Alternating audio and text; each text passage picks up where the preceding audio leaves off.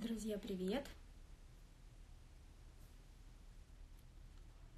Привет! Надеюсь, что все помнят, что у нас сегодня прямой эфир по вспышке Сони. Давайте ждем, о, уже много, давайте ждем 100.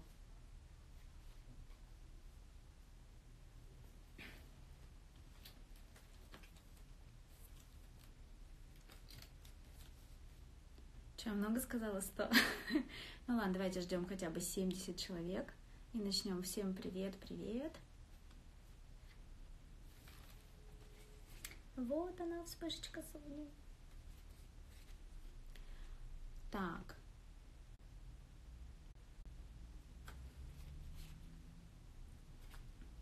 Привет.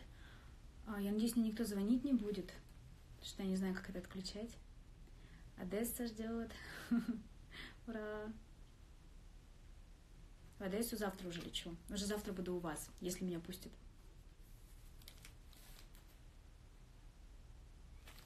Так.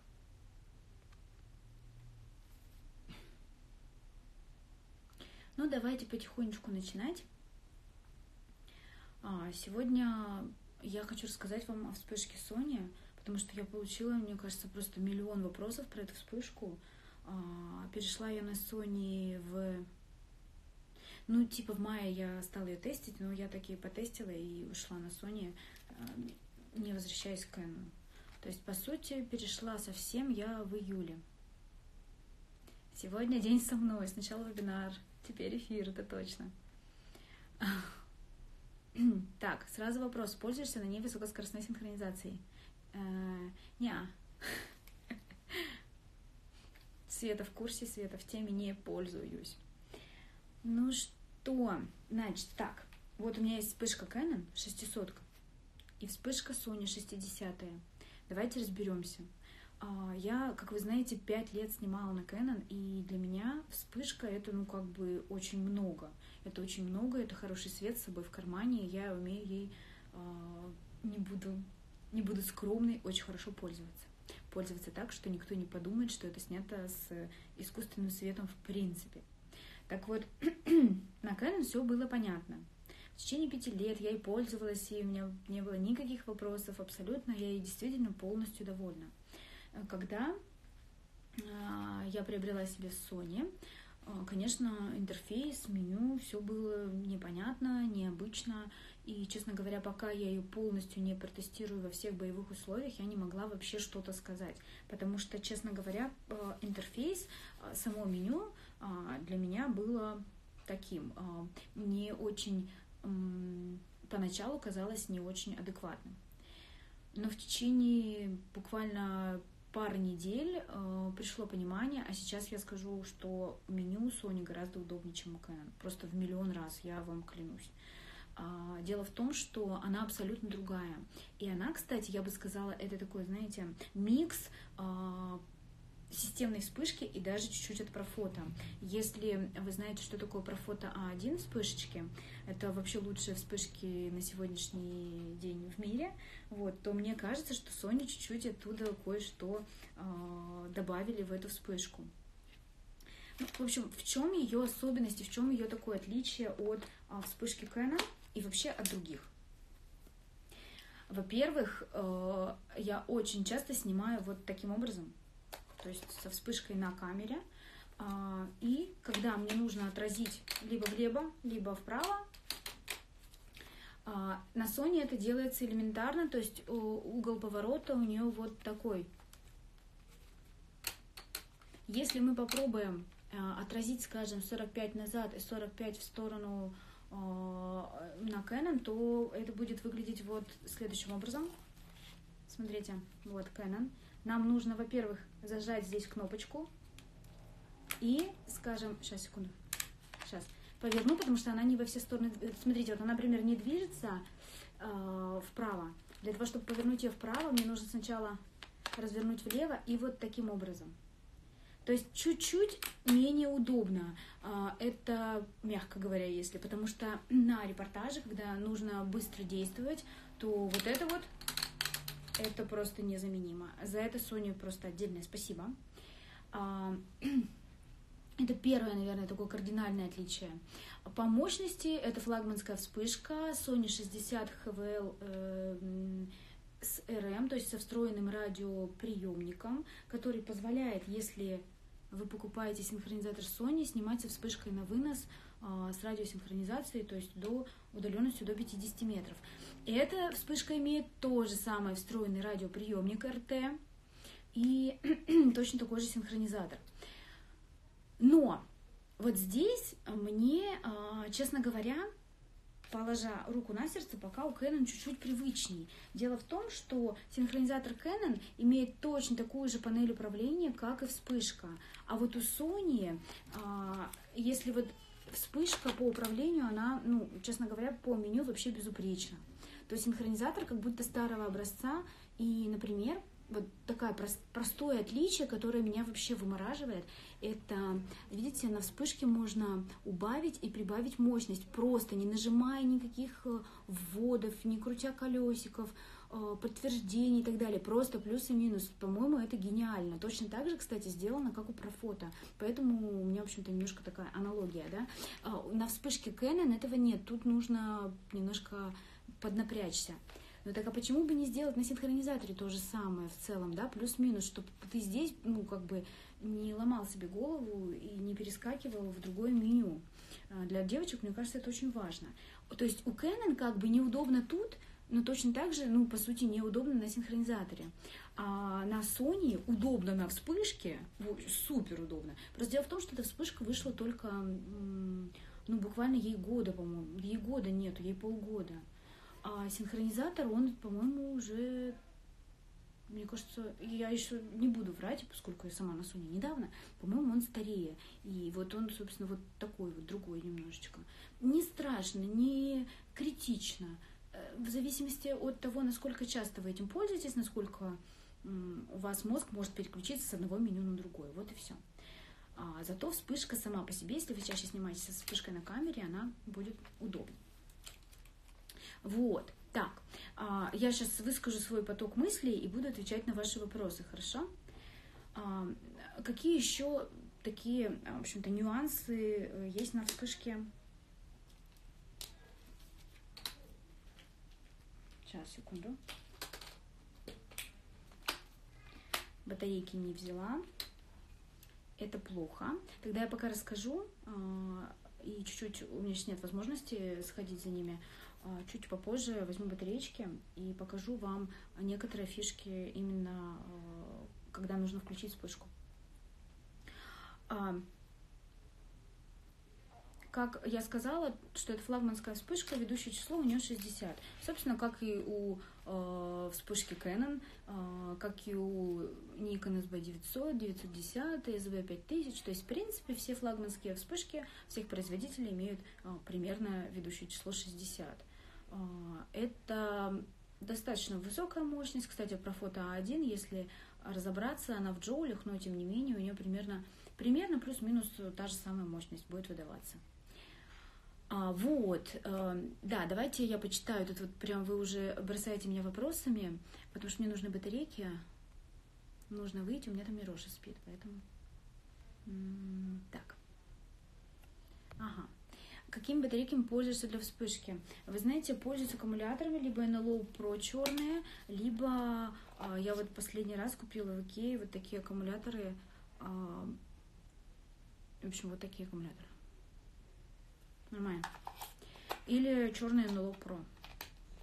Ну, кстати, вот эти вот, они гораздо дешевле, и я не вижу огромной разницы. Поэтому, в общем-то, можно а, пользоваться и киевскими. Sony вспышка сильно греется. Не-не, не сильно нормально. Все это последнее, именно которая вот это вот последняя, 60 RM, а, которая вышла недавно только. Вот она вообще, ну, на мой взгляд, а, у меня не было ни разу проблем. Перегрев точно так же не было, кстати, проблем и с Canon. А, а вот, например, когда у меня была Nikon SB900, то она перегревалась буквально через полтора часа съемки репортажа. Так. Угу.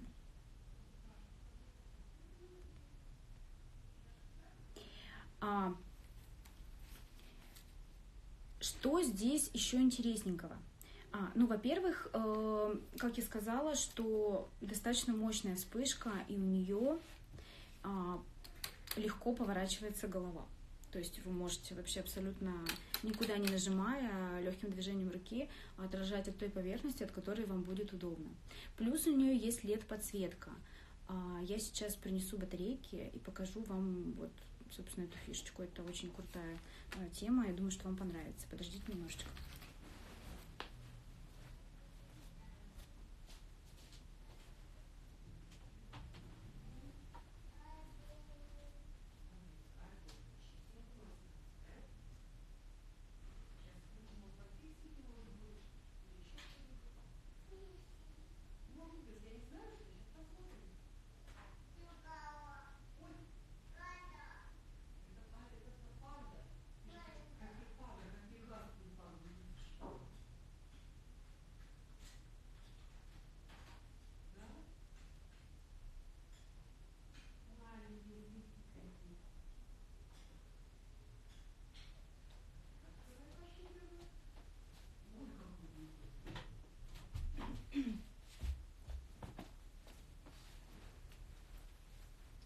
Я тут.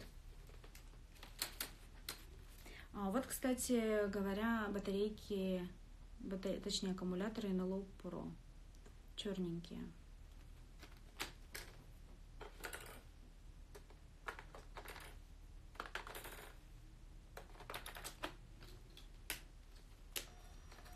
Вот. В общем-то, мне очень нравится меню этой вспышки.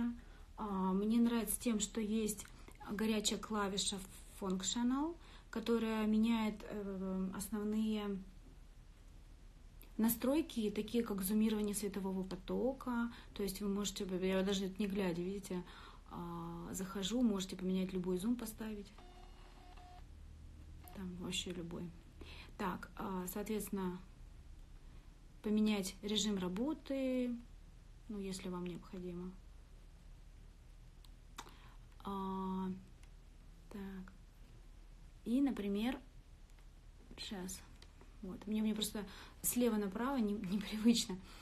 А, соответственно, здесь же меняется режим работы самой вспышки, как командора, ресивера или просто в обычном режиме, когда у вас отключена синхронизация. В данном случае у нас обычный с вами режим. Вот кнопочка моды, которая меняет. Ой, извиняюсь. Так, все. Да, то есть и, и также есть отдельно горячая клавиша, например, кнопочка моды, или которая зум, которая просто можно сразу попасть и поменять. А, либо зумирование, либо а, режим работы. И смотрите, вот это вот level плюс-минус. Так, вот, видите, меняется мощность простым вообще плюс-минус, то есть минус, минус, минус. И самая минимальная у нас одна 128. Вот это очень удобно, на мой взгляд. Вот она срабатывает тест. И еще, кстати, такая штука э, крутая в меню. Сейчас. Вот, light моды. Если вы найдете такой light моды, смотрите, э, вот эта LED подсветка, она загорается. И вспышка, вот она поярче,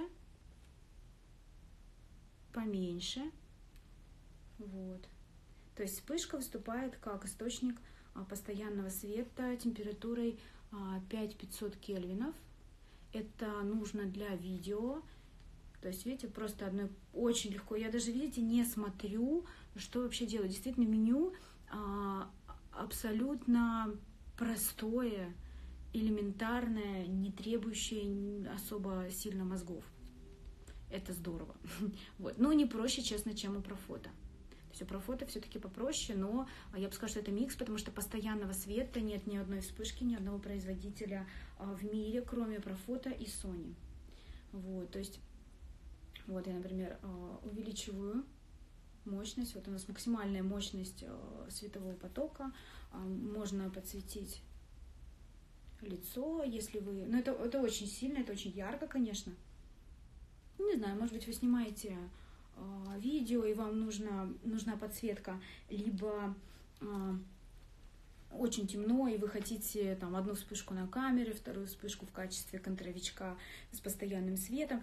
А, а, то есть это как бы не подсветка автофокуса, это а, именно отдельный LED-источник, фонарь, а, который встроен в вашу вспышку. Это, я считаю, вообще очень прикольная тема, а, если вы миксуете разный свет, и ну, это интересно бывает. А, кстати, про подсветку автофокуса. Поскольку это вспышка для беззеркальных камер, и в принципе, если мы отключаем в достаточно темных условиях Live View, у нас все уже на экранчике будет ярко видно.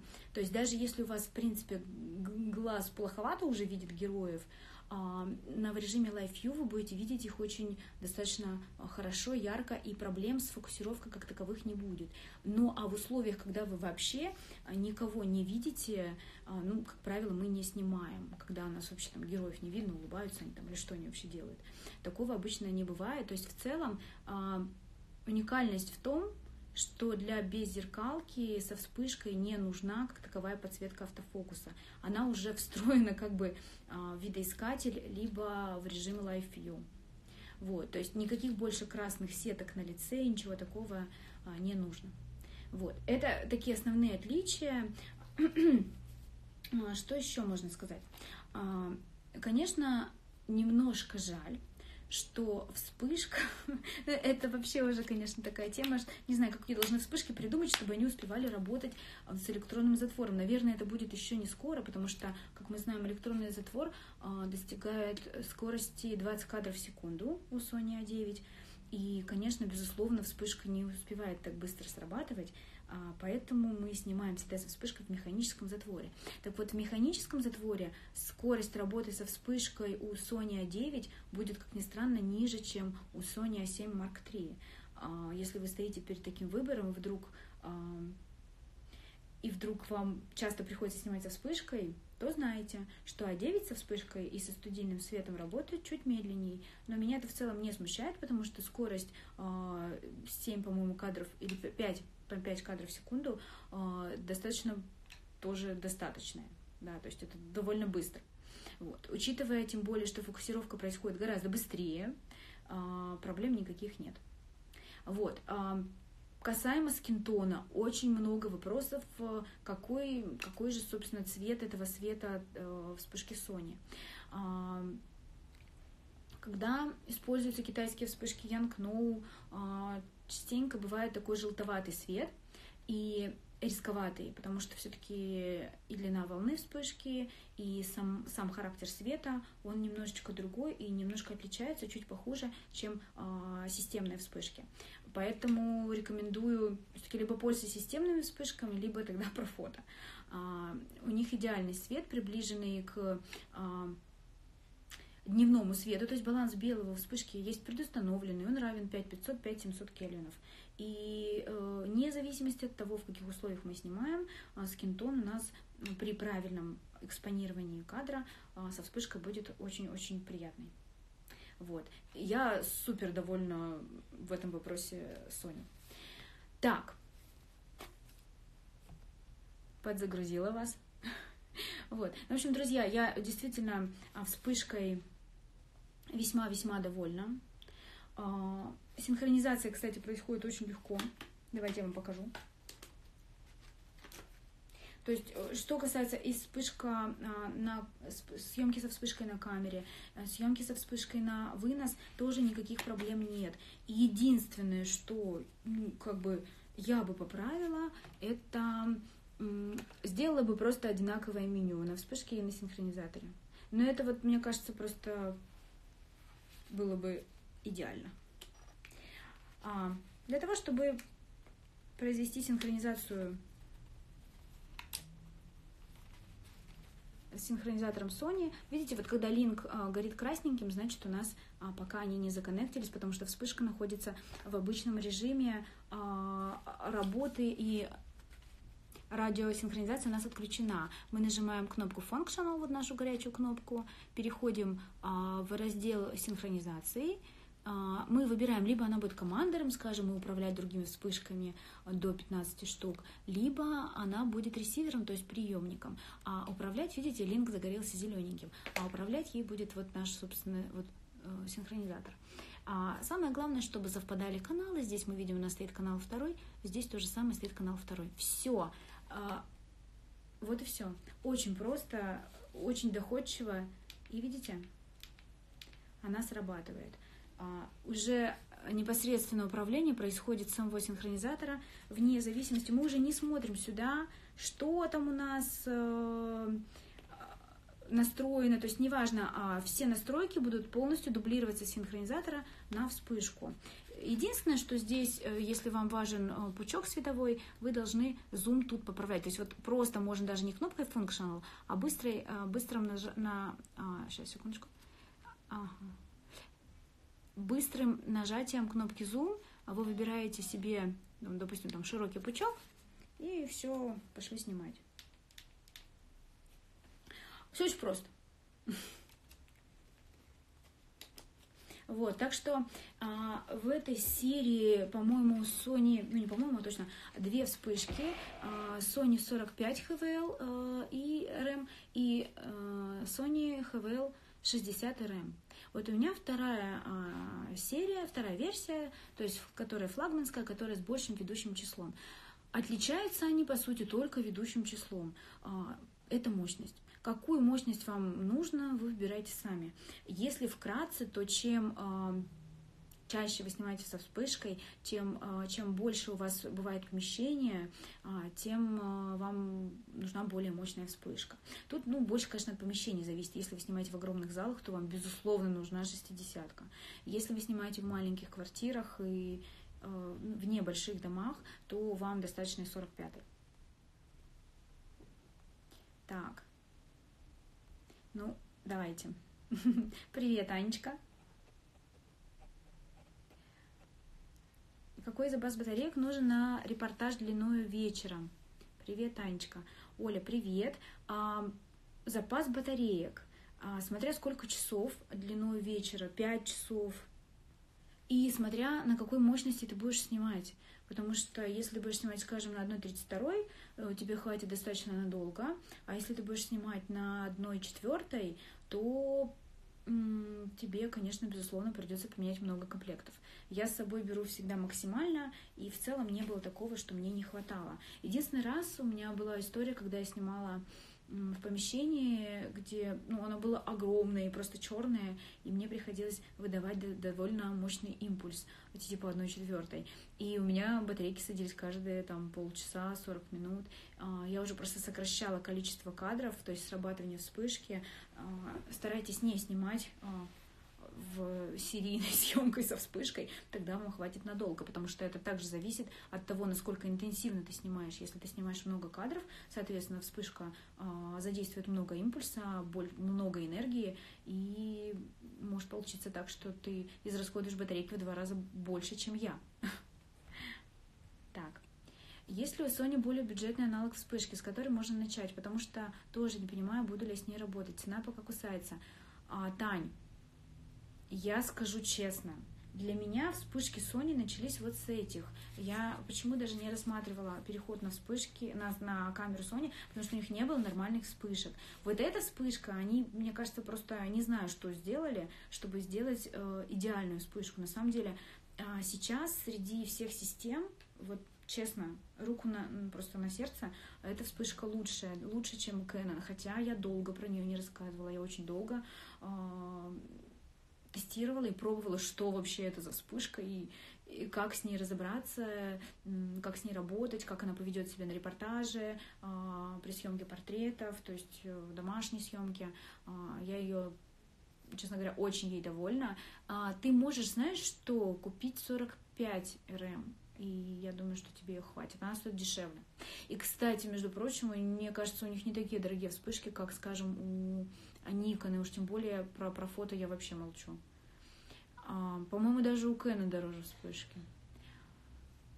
Про батарейки, Маш, я сказала NLO Pro и Ikea. Угу. Так. Ага, ага. Так, так, так, так, много вопросиков. Угу. А, добрый день. Запишите эфир, пожалуйста. Запишу, Надя. А цена на 60 РМ кусается, а я пока совсем не снимаюсь со вспышкой. Жду твой МК. Приходи на мастер-класс и просто забудешь о проблемах, которые существуют со вспышкой. Вспышка на самом деле уникальный инструмент, а, с помощью которого можно и, не знаю, эффект естественного света это вообще не проблема. Приходить снимать в любых условиях домой, а мне кажется, вообще как без вспышки можно зимой в Москве жить. А, подскажите, почему вспышки через раз периодами срабатывает? Марина, у тебя батарейки садятся, поэтому она срабатывает через раз. А, какими дополнительными аксессуарами для вспышки вы пользуетесь? Я использую а, одним единственным аксессуаром. Это а, рассеиватель Magmod, как магнитный модуль. Bounce называется. Я про него уже много раз в эфирах говорила, поэтому запишите Magmod Bounce.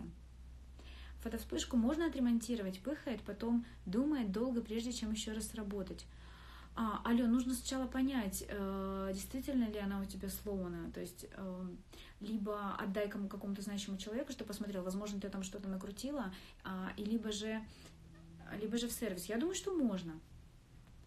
Анна, в Екатеринбурге МК по свету будет, а оно было совсем недавно. Вообще, вот буквально месяца не прошло.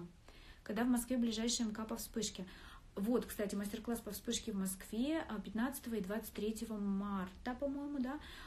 15 а, марта, девочки, мест уже нет, а 23 марта еще есть места. А, Анна Волкович в инстаграме Волкович Про мой организатор. Я, по-моему, выкладывала вчера в сторис свои контакты. Я, честно говоря, даже не успеваю на сайт добавить, потому что уже мест нету. На 23 марта Волкович Про организатор. Пишите, Аня. А для начала можно взять вспышку Янг Ноу. Оль, я ничего не имею против китайских вспышек, и, возможно, когда-то они обгонят системные и так далее. Мне не нравится а, характер света китайских вспышек и, собственно, цвет этого света. Он желтит, и он более резкий, чем э, системные вспышки эти же, потому что длина волны разная, и сама скажем так, технологии, они все равно на чем-то должны экономить. Они не могут делать то же самое а, за гораздо-гораздо меньшие деньги. Поэтому, в принципе, можно все. Вопрос в том, насколько тебе понравится. Вы можете, глядя на фотографию, определить, с каким светом снят, естественно, или со вспышками. Ань, я даже на свои фото смотрю и не понимаю, с каким это светом снято, с естественным или со вспышками. А, я вчера в сторис выкладывала, у меня Лена Гернович брала индивидуальный мастер-класс и выкладывает, э, типа, это снято со вспышкой откуда же я знаю, если там мастерски снято?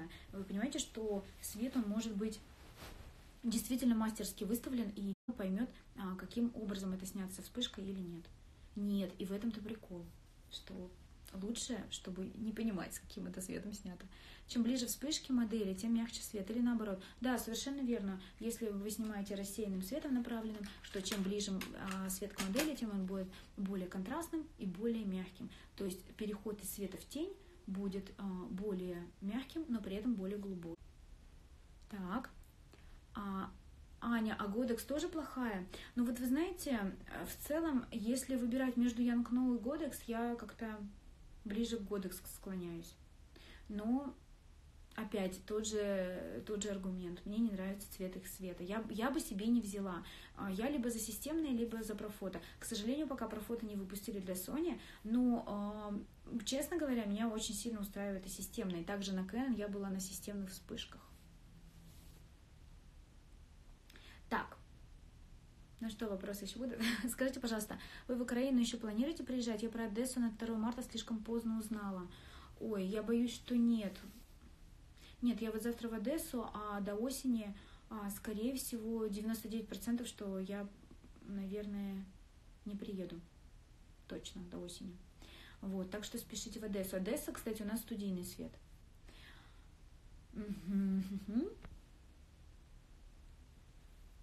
Ну, в общем, если вопросов больше нет, а, спасибо вам за внимание.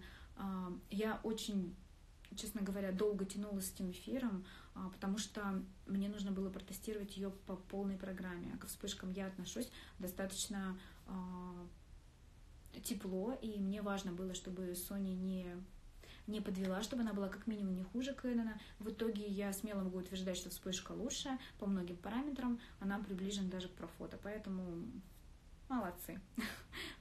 Так, вы уточняете в студиях, какая температура конкретной вспышки? Слушайте, ну студийный свет, он а, в принципе имеет предустановленную температуру в основном, ну не в основном, точнее, это всегда а, как баланс белого дневного дня. Поэтому нет, конечно. Хотим на МК, нужно подружиться со вспышкой, а лучшего профи, наверное, не найти. Анечка, приходи. А с одной вспышкой тоже реально снять так, как будто естественный свет? Ну, конечно, безусловно, само собой возможно. Да, вопрос можно, Катя иду на МК, я уже должна уметь пользоваться вспышкой. А, если идешь на мастер-класс, почитай две странички. Первая страничка, раздел а, М, ручное управление вспышкой. Ты должна знать, как выставляется зумирование светового потока и меняется мощность вспышки. И второй момент э, радиосинхронизация, знать, как перевести в разные режимы работы вспышки, такие как э, ведущая, ведомая и обычный режим, который мы снимаем на горячем башмаке. HSS off на Соньке, это что за параметр? Это значит параметр High Speed Synchronization, высокоскоростная синхронизация отключена. Приходи на мастер-класс, расскажу, что это такое. А, в принципе, включу ее, но она в целом тебе со съемкой, со вспышкой на камере не нужна, потому что со вспышкой на камере мы всегда снимаем а, с отключенной высокоскоростной синхронизацией, то есть на, э, выдержкой, на выдержках э, до 1,200 примерно, а некоторых камерах до 1,250. Все, что короче 1,250, то есть начиная с 1,320, заканчивая предельными возможностями вашей камеры, это 1 восьмитысячная, это уже высокоскоростная синхронизация. Так, Катя, последний вопросик я от тебя жду. У меня сегодня насыщенный денек, одни вебинары, прямые эфиры. А, а, все, это ты спросила, да? Это вопрос был. Понятно. Так, ну, в общем, ребята, спасибо за внимание. Эм, удачного всем дня. В Нижнем Новгороде мастер-класса не будет, как только я хочу завершить. Да. Ну или я не знаю, давайте Давайте еще поболтаем. У меня есть минут 15, наверное, свободных. Если хотите, я ваша. Будет неофициальная часть прямого эфира. Отлично, неофициальная часть вам нравится больше, да? Да, наконец-то Аня заткнулась и перестала грузить вспышками. А, кстати, ребята, если кто-то собирается на второй поток лайв-фото, с середины марта у нас стартует уже запись на второй поток. Поэтому ждите сообщений, ждите а, информации, и уже будет можно записаться. Начало, нач, на, начало потока а, первое число апреля. Спасибо, какая я красавица. А как часто отражателем пользуетесь? Не, не часто. А, я ищу другие отражающие поверхности, такие как, например, стена, штора, а, одежда. А, на следующий э, мастер-класс в Екатеринбурге. Очень хочется к вам попасть. Даже не приглашали еще в Екатеринбург. Аня, а, а какая хорошая книжка про вспышку? Вообще их нету. Я, честно, эту информацию, которую даю на мастер-классе, а, своим опытом по крупинкам собирала, и она действительно уникальна, и ее нигде не прочитать. Я не знаю, их нету. Я сама училась работе со вспышкой. А, сначала это было был огромный опыт работы в студии, а потом а, уже, собственно, с накамерной вспышкой на своих ошибках и читая зарубежных фотографов статьи, переводя их на русский язык. Вот. Инна, я тоже жду вечера, чтобы все записи посмотреть. Гаяна. В Казани очень хотим МК. Только я ж прилетела только в воскресенье из Казани, в субботу. У меня был мастер-класс в Казани. Почему не пришли? На улице пользуетесь вспышкой? Нет, потому что это нелогично.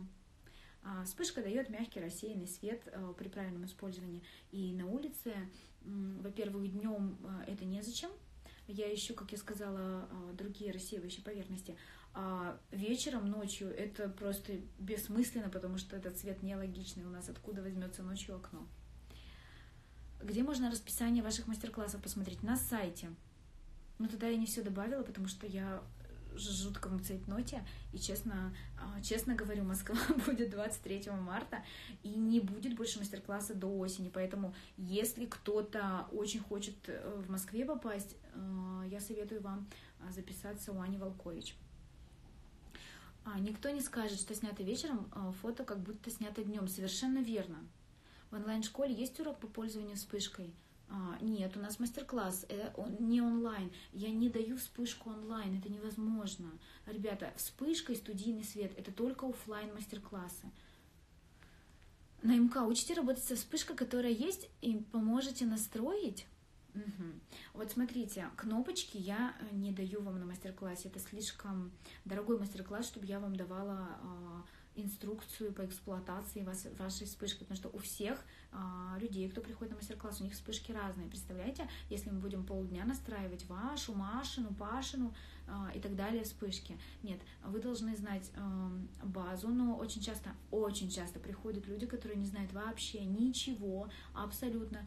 И поверьте мне, все они уходят уже с пониманием, потому что по сути кноп кнопочки, это знаете как но если вы снимаете, ну, скажем, на Nikon, и вдруг вы понимаете, что такое экспатрию, а, в каких случаях мы регулируем диафрагму, выдержку ИСа, а, если вам вдруг дадут Sony или Nikon, сколько вам времени понадобится, чтобы а, начать снимать? Ну, минут пять, наверное, то есть, чтобы понять, где какая крутилочка и за что она отвечает.